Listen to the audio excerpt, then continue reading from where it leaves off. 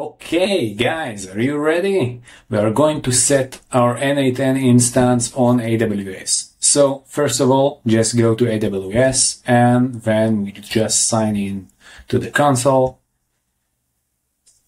Let's enter the credentials and, of course, MFA, very important.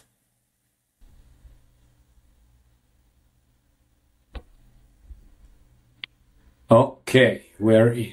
So, next thing, we are going to the EC2.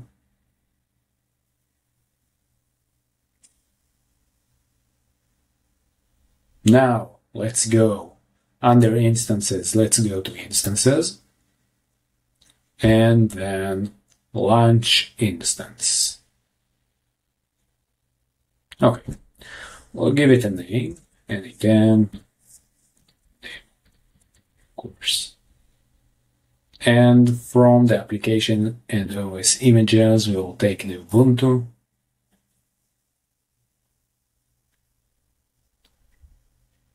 You can see that it is a free tier eligible. So if you just created your AWS account, then you can be on the free tier and even get 720 hours free each month, which means that you are not paying for the instance for Okay, let's see what we have here. That's totally fine. We will stick with the T2 Micro, which also is a free tier eligible. And let's create a key pair name. And we'll just stick with RSA and PEM and call it also N8N course demo. Okay, and you have the private key downloaded to your local machine.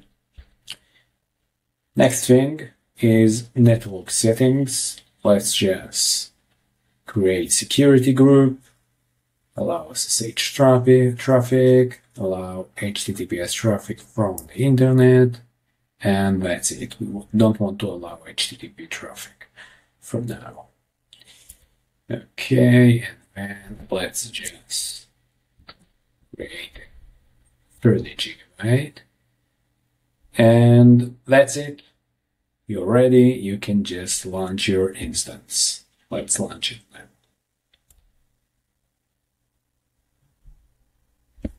Can take up a few minutes.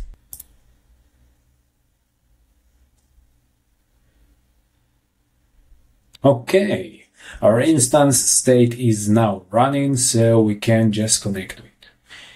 I'll show you in a minute how to do it from your terminal, but for that purpose, let's just connect to the instance. Just go to connect, connect using EC2 Instance Connect, and then connect.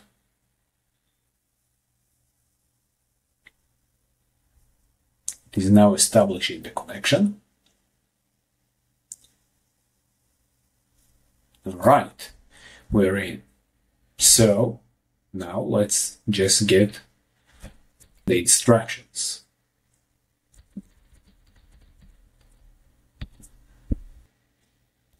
Copy to clipboard and then just install that. We'll wait a few seconds until it's finished. Okay, now we are finished. Let's go to the next thing. Let's check our Docker and Docker Compose versions. So, what do we see here? Okay, Docker Compose and Docker. Okay, next thing, we are going to create the .env file. So, for this to happen, let's just go and type nano, dot env. Let's copy clipboard. Now let's close it with Command X, then yes, then. Okay. Next thing, we are going to create the local files directory. Then we create the Docker Compose file. So now again, nano docker compose at YAML and let's copy it from here and paste. links.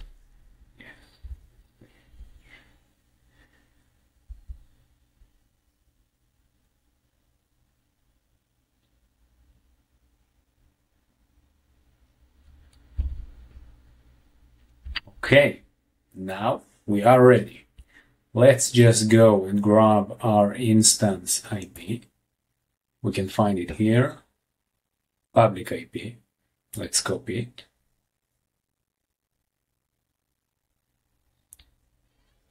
Let's go to our domain system and let's create the subdomain. So instance it's n8n and this is the domain and we're creating an A record.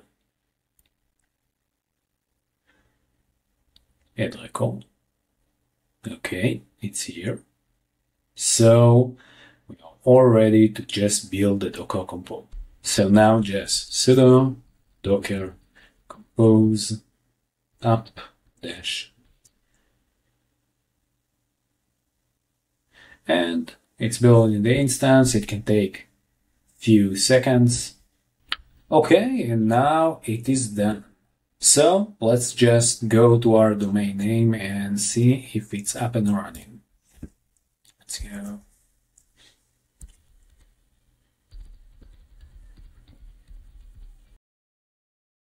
And now we are ready. So, email, first name, last name, and just generate a password. Okay, next. We are done. Skip. Okay, then you have your instance.